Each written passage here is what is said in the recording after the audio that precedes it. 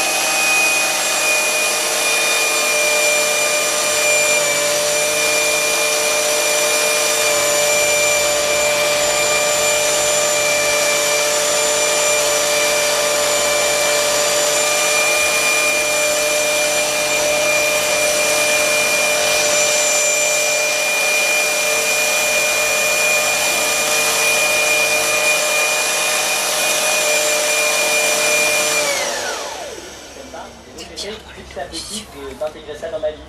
Donc en effet, maintenant au niveau de la mobilité, bah, je préfère toujours essayer de mettre du covoiturage,